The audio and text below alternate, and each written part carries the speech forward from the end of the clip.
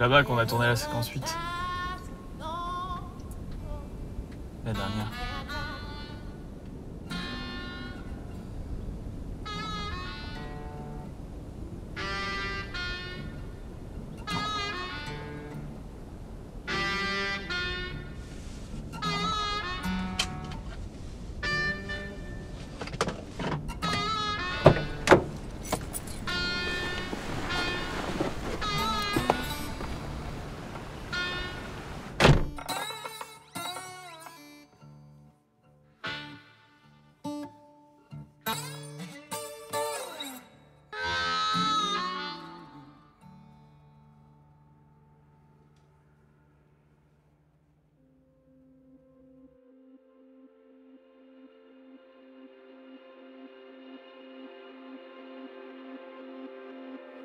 Bah, les moi, on se connaît depuis euh, le berceau. Il y avait 500 km qui nous séparaient, mais euh, nos pères étaient de bons amis. Donc on se voyait régulièrement, deux à trois fois par an. J'ai commencé à l'âge de 8 ans, quand mon frère a eu euh, son premier appareil photo.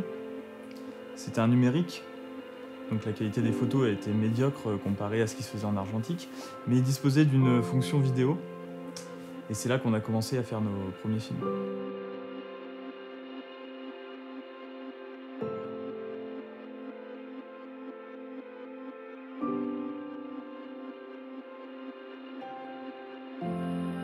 Un hiver, on s'est retrouvés euh, pour fêter le nouvel an avec euh, quelques amis de nos parents.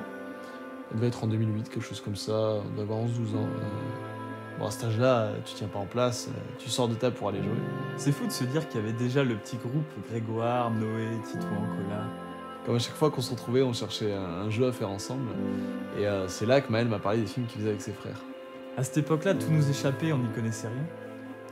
On jouait des aventures, des combats d'épée avec des bateaux en bois. Et puis on se filmait. Le concept de plan est venu assez naturellement. On se passait la caméra chacun notre tour pour pouvoir tous jouer un rôle. Je ai dit, euh, c'est trop cool, vas-y, on fait ça. Et euh, c'est comme ça qu'on a réalisé notre premier film euh, tous ensemble.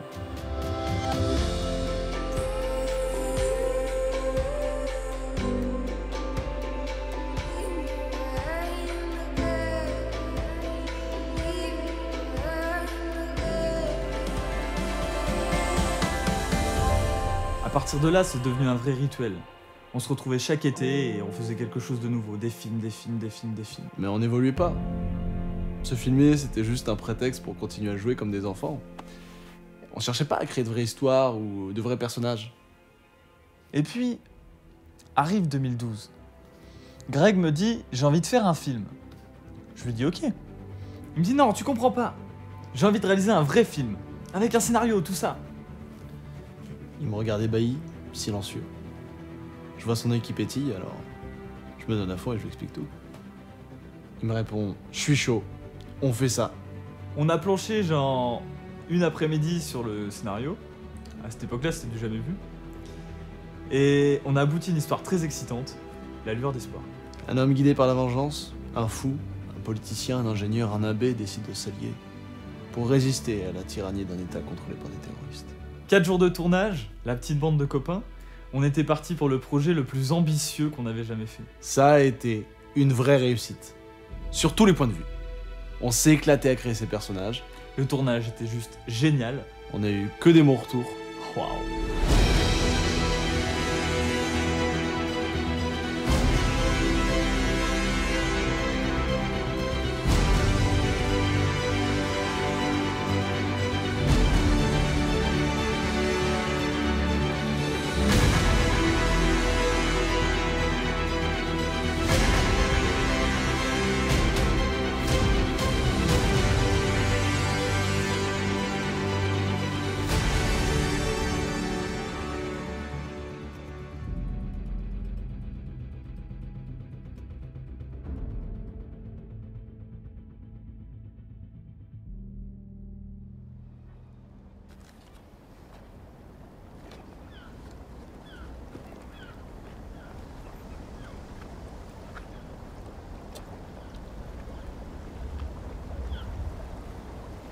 Ça y est Premier rendez-vous sponsoring. On est très excités. Un peu de pression, mais bon. euh, Ah C'est l'heure Allez C'est chaud Ça va, ça va.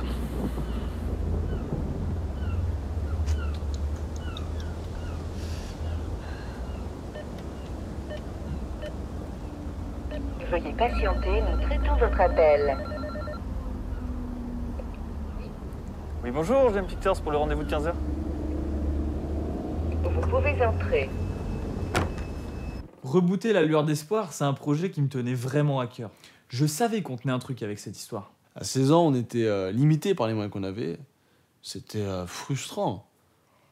Mais après, les choses ont changé. On a chacun suivi un parcours euh, en audiovisuel, fait de nouvelles rencontres, gagné en expérience. Rebooter la lueur d'espoir devenait possible. La simple idée de pouvoir reproduire le film de notre enfance avec plus de budget me donnait la patate. Seulement pour obtenir des financements, il nous fallait un scénario qui soit béton. On a donc démarré la réécriture de la lueur d'espoir en mars.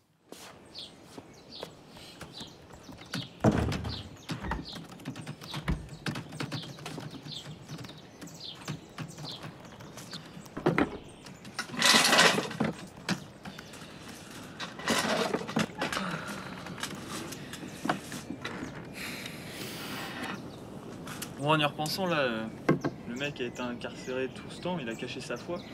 On peut s'imaginer que la première chose qu'il fasse quand il sort, là, c'est d'essayer de se confectionner une petite croix, se tailler dans un, un morceau de bois. Et puis, euh, ça symboliserait un peu sa libération euh, psychique et aussi psychologique. Faut quand même qu'on revienne déjà au problème principal. Euh, pas, c'est pas plus chaud que les antagonistes du film soient des terroristes islamistes? Ah ouais, non mais là. euh, ah, si on revient là-dessus, c'est un peu euh, changer le, le, le bloc du film quoi. C'est c'est un peu l'essence du film, tu vois. Ouais, ouais, mais mec, euh, enfin, je veux dire, euh, quand tu réfléchis deux minutes, euh, dans, la- dans la- dans le contexte actuel, c'est chaud. hein. La phase de réécriture a été plus complexe qu'on se l'était imaginé. On est passé par plusieurs étapes. Écriture, réécriture, ré-réécriture. On n'en voyait pas le bout.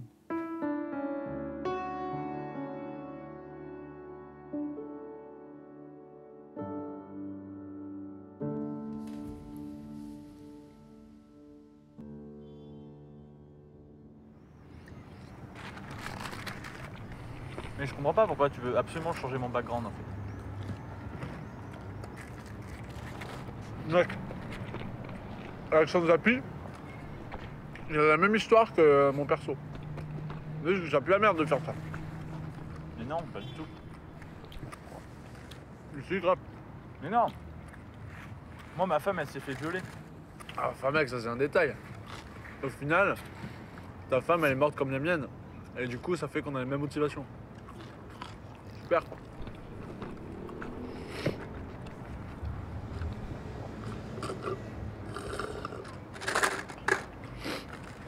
Non, mais si on fait comme je t'ai dit, que.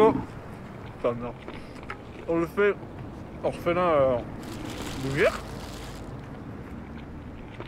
À mon sens, on rajoute de la profondeur au personnage et en même temps au sous-texte du film. On a eu beaucoup de mal à se mettre d'accord sur l'origine story de mon personnage, Alexandre Zappi. C'est vrai que j'étais très attaché au matériel de base, respectais absolument la lueur d'espoir euh, de nos 16 ans. Mais il est clair que mon personnage et celui qu'incarnait Greg à l'écran, euh, Pierre Deschamps, étaient trop euh, similaires dans leur genèse et leur motivation. Mais en fin de compte, on a réussi à se mettre d'accord.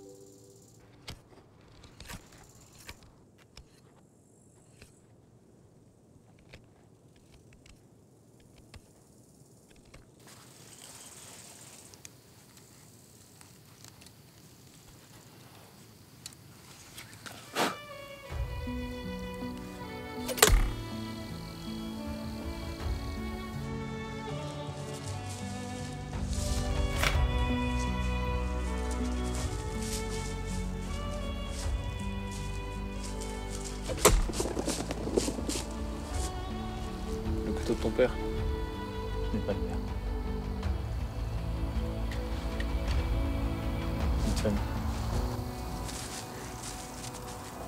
est super. Ouais. On va la refaire parce qu'il y a eu un pigeon et c'est pas très joli. Mais euh, vraiment vachement bien. Ok. Vachement, euh, ouais, ouais, ouais. Bah, du coup, euh, bah, vachement bien Ça y est, premier jour de tournage du pilote. Ça démarre très très bien. On a une belle équipe, euh, de super conditions météo. Ce matin, on tourne la séquence 5 avec moi-même, l'incontournable Didier, joué par Lilian Poulaillot, Maël, le showrunner avec le nom plus petit, et notre super réalisatrice Laura Chrétien, que, ben, que je vais vous présenter.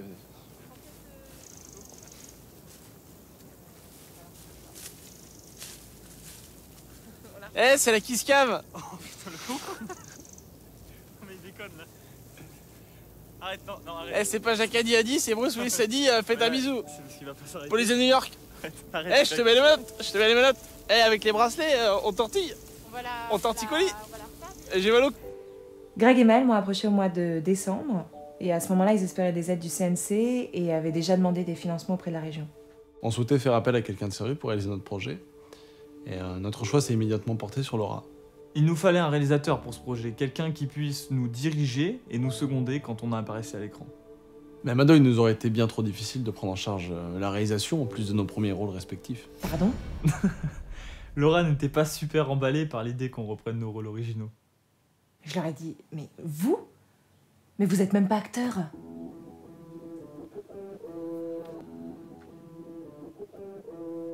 Ils en démordaient pas. C'était impossible. J'ai essayé de les convaincre pendant des heures et des heures. Ça, ça marchait pas. Il y avait rien à faire. hein. J'ai dû faire avec. Call me J.O. M to the easy E.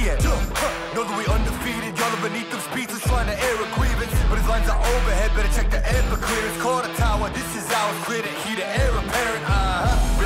Really, I've never been better. Legacy, this is forever. All the more times I've been severed. I'm raising the bar. You can go ahead and measure. Think about time for a toast. Time that we welcome the goat.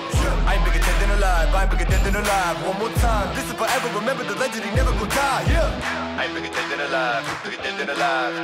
I ain't bigger dead than alive. This right here forever. On était attaché au casting original.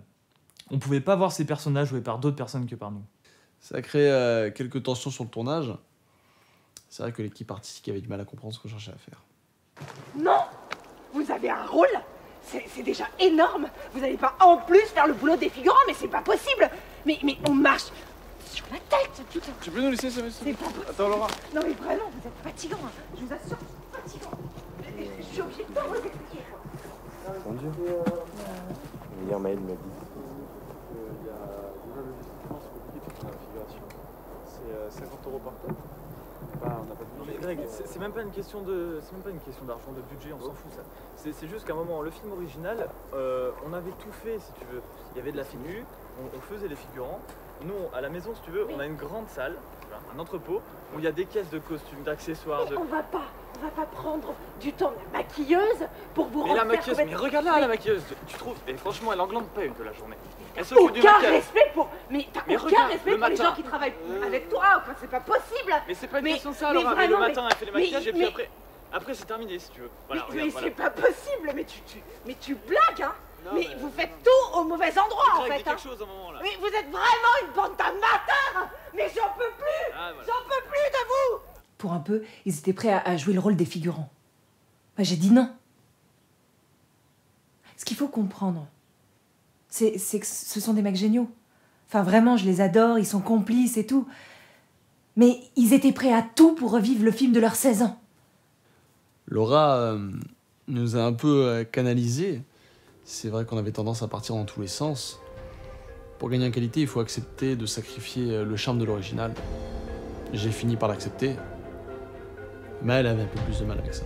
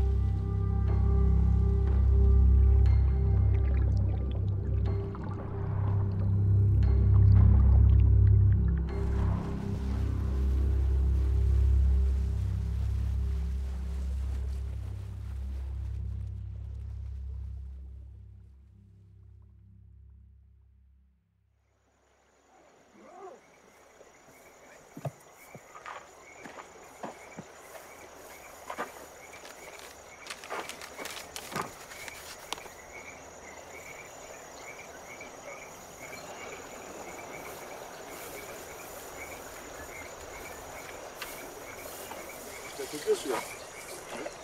Ah, tu sais, j'ai vécu dans un Japon, je te l'ai dit. Je te l'ai pas dit, c'est pas toi que je t'ai dit.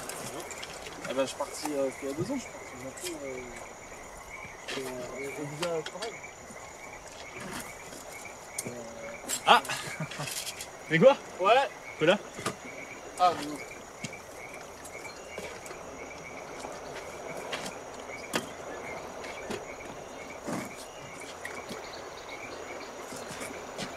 Et voilà, 7 ans après, la fine équipe presque au complet. C'était dingue. Pouvoir réunir toutes ces personnes avec qui on a vécu tellement de souvenirs, c'était. C'était magique. Mes chers compatriotes, prenons les armes. Aux armes. Mes chers compatriotes, prenons les armes. Mes chers compatriotes, aux armes.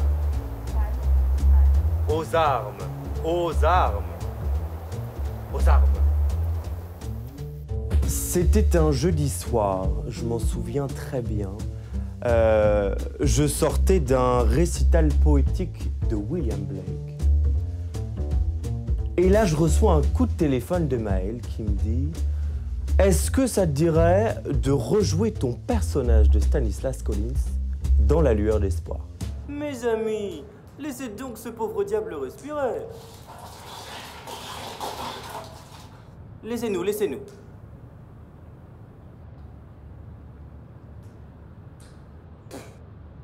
C'était vraiment indispensable Pardonnez mes hommes, ils sont un peu nerveux ces derniers temps, hein, mais bon.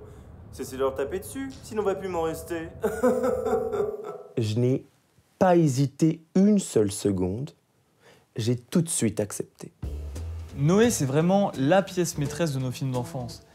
Il a toujours eu une vraie présence à l'écran. Reproduire la lueur d'espoir sans lui, c'était inenvisageable.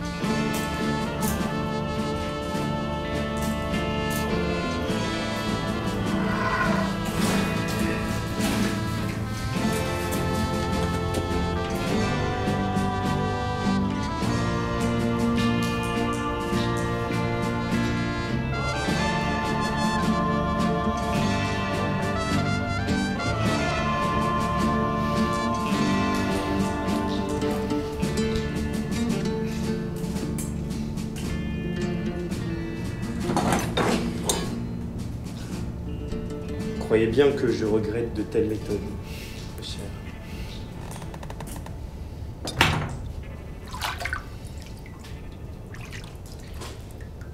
Mais vous savez comme moi que dans le climat actuel, je ne peux me permettre d'agir autrement.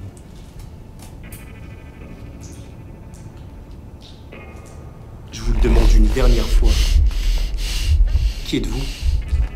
Que voulez-vous? C'était un grand moment du tournage. De voir Noé reprendre son rôle après toutes ces années.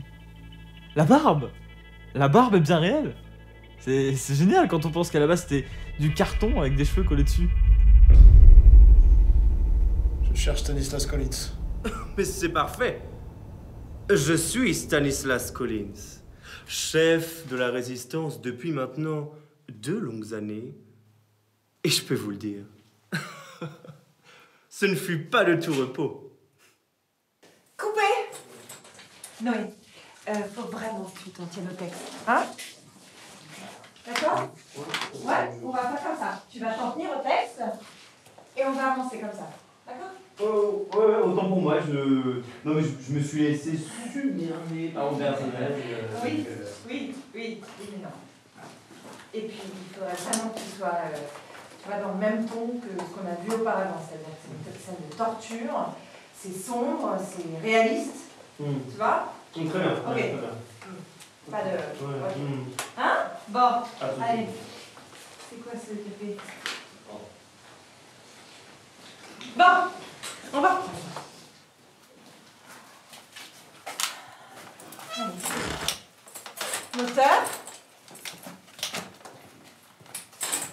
Séquence 25, plan 2, prise 8. Change rien, Noé, hein Parfait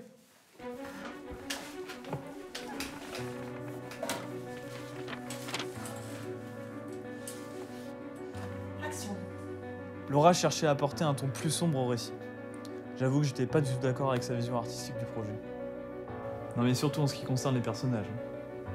Les directives de jeu qu'elle donnait avaient tendance à s'éloigner complètement de ce qu'on avait créé. Maël n'acceptait pas que j'apporte des changements au film, sous prétexte qu'il fallait rester fidèle au chef-d'œuvre original. Chaque directive que j'apportais pour améliorer le film, hein, il la contredisait. Comment tu veux bosser dans ces conditions? Parce que euh, pas trop de thunes ici, c'est- chaud quoi. Ouais, mais après, si tu vas au Japon, Hmm. t'achètes là-bas, t'as une réduction en fait. Ouais. De 70%. Et toi, tu t'y connais en soi Non, mais je suis au Japon. Ouais, tu, tu connais rien en fait. Bah, si, je fais un peu de Tu sais, il y a euh, des trucs un peu importants, euh, les fréquences, euh, le Bah. bas médium et tout, là, tout ça. C'est Ouais. de là-bas, quoi. Ouais. Et puis il y a pas que le micro, hein, tu sais, plein de trucs. euh, poil de chat là, par exemple. Ouais, enfin, c'est du son, c'est pas, c'est pas le genre d'image, tu vois. c'est- Hmm. Ça craint quand même. Moi j'y crois pas à ton truc japonais. Euh, Greg, je je peux parler euh, en privé, je, je suis désolée. hein. Il faut absolument que tu parles à Maël, c'est pas possible.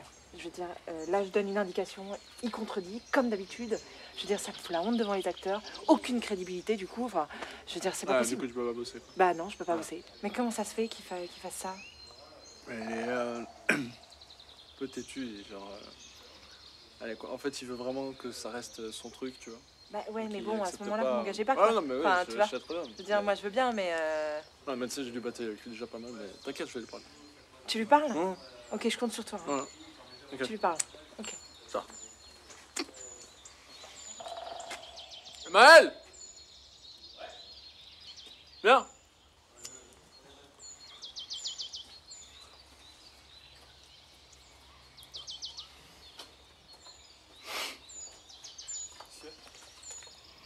C'est vrai qu'en termes de maturité, Maël, bon. euh, on n'évolue pas à la même vitesse, quoi. C'est compliqué de lui faire entendre raison.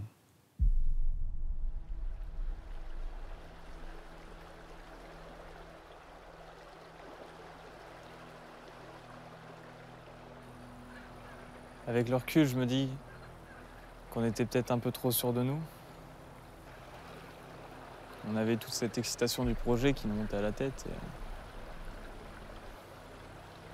C'est le moment, tu sais, où tu restes braqué sur tes idées et tu as du mal à voir le projet dans son ensemble.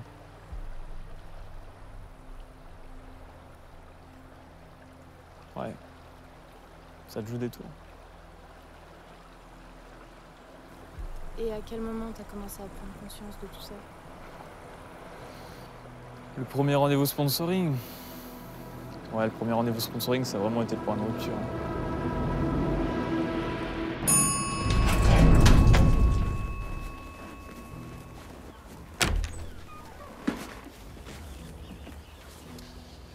Ça commence par un refus, mais bon, garde la tête haute. C'est que le premier rendez-vous, c'est ce qu'il faut se dire. Et bon voilà, on a eu un échange euh, interactif et intéressant, je dirais même. Ça nous a permis d'évaluer les forces et les faiblesses euh, du projet. Donc euh, voilà, c'est tout bénef. C'était dur à accepter. On avait investi tout ce qu'on avait pour réaliser les séquences pilotes. Et le budget avait été largement utilisé. Faut imaginer, tu mets toute ton énergie pendant plusieurs mois, Tu dépenses sans compter, et là tu te rends compte que ça va pas être suffisant. Que malgré tous tes efforts, le projet ne séduit pas. C'est un milieu cruel. ils en ont rien à foutre de savoir si tu t'investis ou pas dans ton projet. Ce qui compte, c'est son potentiel lucratif. Pas de potentiel, pas d'investissement. C'est comme ça que ça marche. Maël avait un mal de chien à comprendre ça. Je lui ai dit plusieurs fois le sponsoring, c'est un jeu. Si tu veux obtenir des financements, il faut rentrer dans le moule, accepter les codes. Ta présentation doit être euh, aguicheuse, racoleuse, quitte à omettre certains points sensibles du projet. Alors oui, c'est malhonnête, Mais c'est pas moi qui dicte les règles. C'est le milieu qui fonctionne comme ça.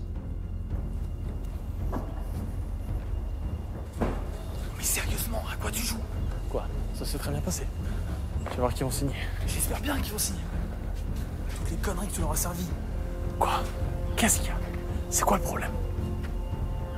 Tu crois vraiment qu'on peut avoir des subventions avec les discours niaiseux que tu nous fais? Rien du tout. Je t'ai laissé faire pour les quatre premiers rendez-vous. Tu veux que je te rappelle les résultats que ça a donné? Non, je pense pas que ce soit la peine. Alors maintenant, tu peux voir que ma méthode marche mieux que la tienne. Eh oui. Alors s'il te plaît, tu me fais confiance et tu me laisses gérer ça. Non. Je peux pas te laisser faire ça. C'est sale et c'est malhonnête. Qu'est-ce qui est malhonnête?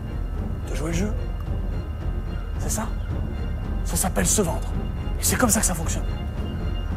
Alors s'il faut se salir un petit peu les mains pour arriver à quelque chose dans la vie, ben moi je suis prêt à le faire.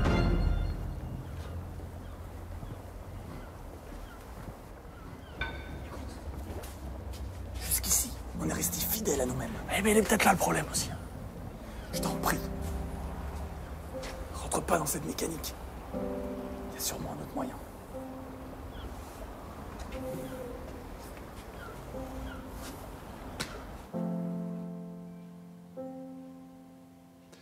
Je l'ai pas écouté.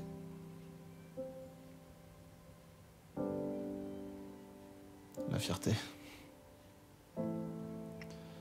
C'est ce que c'est.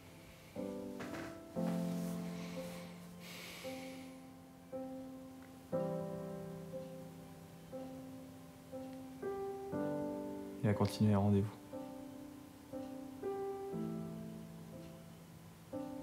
Sans m'en parler.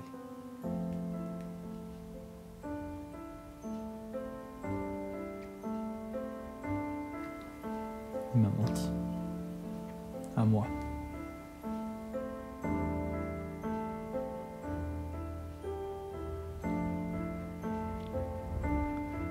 J'ai fini par m'en rendre compte.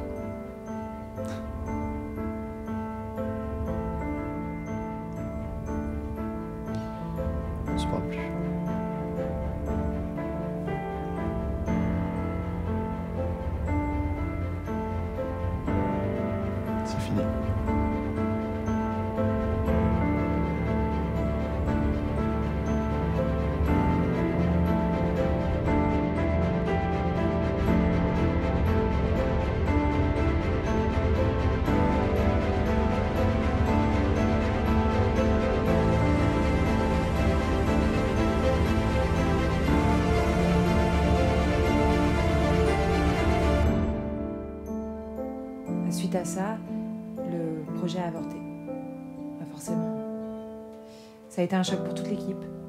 Ah, ça m'a bouleversé. C'était inconcevable. Je, je ne pouvais pas y croire. Comment aurais-je pu? Il y avait une telle alchimie dans ce duo qu'ils formaient. Ça doit être dur pour Maël.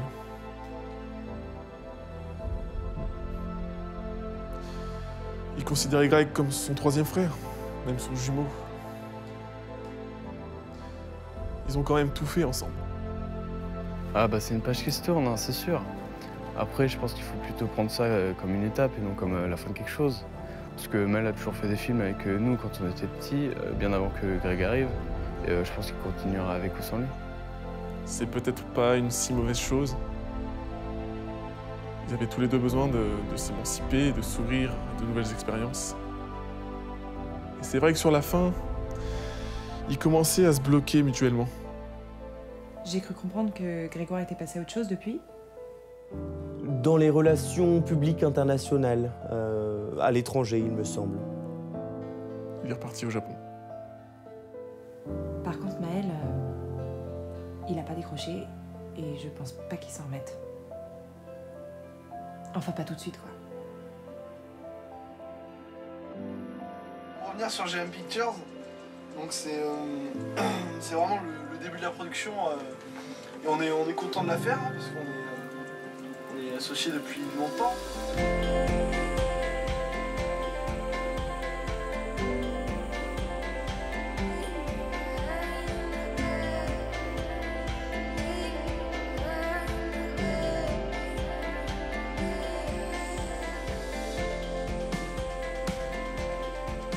Enfin, je veux dire, on se connaît depuis euh, tout petit.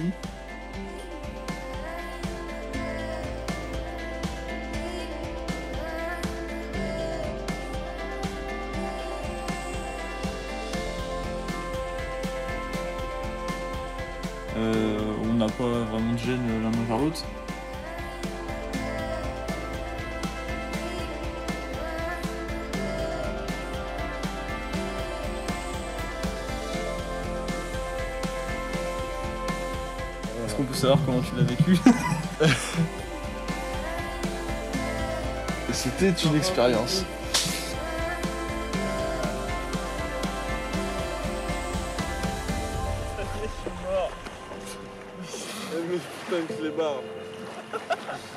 Cette fois, on s'est vraiment rendu compte que c'était. euh, on pouvait euh, Faire un film. faire un film qui ressemble vraiment à un film, quoi. Qui, qui est, euh, bah, qui est top d'un film. Slate「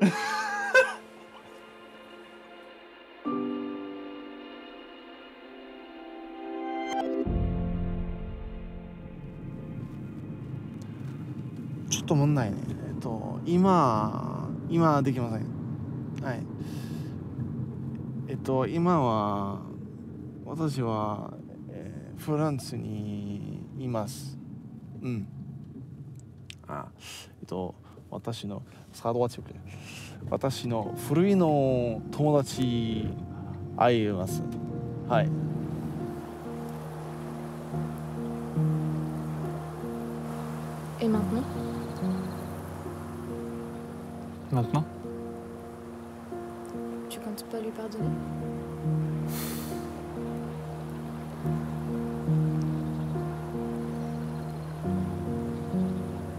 Je sais pas assez. T'es toujours en colère contre lui